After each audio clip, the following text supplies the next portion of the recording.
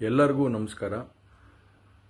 ಮೊದಲನೇದಾಗಿ ನನ್ನ ತಂದೆ ತಾಯಿಗೆ, ತಾತಂಗೆ ಹಾಗೂ ನನ್ನ ಕುಮಾರನಿಗೆ ಮತ್ತು ನಾಡಿನ ಜನತೆಗೆ ಹಾಗೂ ಎಲ್ಲ ನನ್ನ ಕಾರ್ಯಕರ್ತರಿಗೆ ಕ್ಷಮಾಪಣೆ ಕೇಳ್ತಾ, ನಾನು ಫಾರಿನಲ್ಲಿ ಎಲ್ಲಿದ್ದೀನಿ ಅಂತ ಸರಿಯಾಗಿ ಮಾಹಿತಿ ಕೊಡದೇ ಇರೋದಕ್ಕೆ ಇವತ್ತು ಮಾಹಿತಿ ಕೊಡೋದಕ್ಕೆ ಬಂದಿದ್ದೀನಿ. ಏನು ಇಪ್ಪತ್ತಾರನೇ ತಾರೀಕು ಚುನಾವಣೆ ನಡೀತು? ಇಪ್ಪತ್ತಾರನೇ ತಾರೀಕು ಚುನಾವಣೆ ನಡೆದಂಥ ಸಂದರ್ಭದಲ್ಲಿ ಅವತ್ತು ನನ್ನ ಮೇಲೆ ಯಾವುದೇ ರೀತಿ ಒಂದು ಪ್ರಕರಣ ಆಗಲಿ, ಯಾವುದೇ ಒಂದು ಕೇಸ್ ಆಗಲಿ ಏನೂ ಇರಲಿಲ್ಲ. ಎಸ್ ಐ ಕೂಡ ರಚನೆ ಆಗಿರಲಿಲ್ಲ. ಈ ಇಪ್ಪತ್ತಾರನೇ ತಾರೀಕು ನಾನು ಫಾರಿನ್ಗೆ ಹೋಗೋದಿನ್, ಹೋಗೋದು ಕೂಡ ಇದು ಮುಂಚೆನೇ ಪ್ರೀ ಪ್ಲಾನ್ ಆಗಿತ್ತು. ಹಾಗಾಗಿ ನಾನು ಫಾರಿನ್ಗೆ ಹೊರಟೆ ಫಾರಿನ್ಗೆ ಹೊರಟಾದ ಮೇಲೆ ಮೂರ್ನಾಲ್ಕು ದಿನದ ನಂತರ ನಾನು ಯೂಟ್ಯೂಬ್ ನೋಡೋವಂಥ ಸಂದರ್ಭದಲ್ಲಿ ನ್ಯೂಸ್ ಚಾನೆಲ್ ನೋಡೋವಂಥ ಸಂದರ್ಭದಲ್ಲಿ ನನಗೆ ಈ ಮಾಹಿತಿ ದೊರಕುವಂಥ ಕೆಲಸ ಆಯಿತು. ಮಾಹಿತಿ ದೊರಕಿದ ಮೇಲೆ ನಂತರ ಎಸ್ ಐ ಟಿನೂ ಕೂಡ ಏನು ಒಂದು ನೋಟಿಸ್ ಕೊಡೋವಂಥ ಕೆಲಸ ಮಾಡಿತು. ಆ ಎಸ್ ಐ ಟಿ ನೋಟಿಸ್ಗೂ ಕೂಡ ನಾನು ಎಕ್ಸ್ ಖಾತೆ ಮುಖಾಂತರ ಮತ್ತು ನನ್ನ ಲಾಯರ್ ಮುಖಾಂತರ ನಾನು ಏಳು ದಿನ ಸಮಯ ಅವಕಾಶ ಕೇಳಿದ್ದೆ.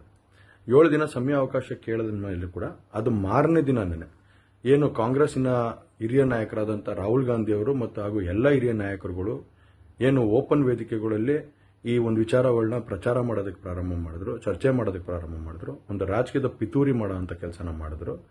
ಇದೆಲ್ಲ ನೋಡಿದಂಥ ಸಂದರ್ಭದಲ್ಲಿ ನಾನು ಡಿಪ್ರೆಷನ್ಗೆ ಹೋಗುವಂಥ ಕೆಲಸ ಆಯಿತು ಐಸೋಲೇಷನ್ಗೆ ಹೋಗುವಂಥ ಕೆಲಸ ಮಾಡಿಕೊಂಡೆ.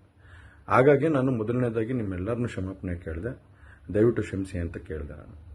ಇವ ಅದಾದ ನಂತರ ಹಾಸನಲ್ಲೂ ಕೂಡ ಕೆಲವು ಶಕ್ತಿಗಳು ಎಲ್ಲ ಒಟ್ಟಿಗೆ ಸೇರಿಕೊಂಡು ಇವತ್ತು ನನ್ನ ಮೇಲೆ ರಾಜಕೀಯದ ಒಂದು ಪಿತೂರಿ ಮಾಡೋವಂಥ ಕೆಲಸ ಮಾಡೋವಂಥದ್ದು ಇರ್ಬೋದು.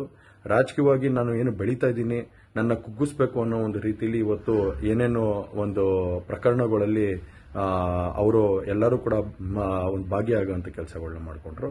ಹಾಗಾಗಿ ಇವನ್ನೆಲ್ಲ ನೋಡಿದಂಥ ಸಂದರ್ಭದಲ್ಲಿ ಇದ್ದಿದ್ದು ಇನ್ನ ಒಂದು ಆಘಾತ ಆಗೋಂಥ ಕೆಲಸ ಆಗಿ ನಾನೇ ಒಂಚೂರು ದೂರ ಇದ್ದೆ. ಹಾಗಾಗಿ ಯಾರು ಕೂಡ ಇದ್ರ ಬಗ್ಗೆ ತಪ್ಪು ತಿಳಿಯೋದು ಬೇಡ.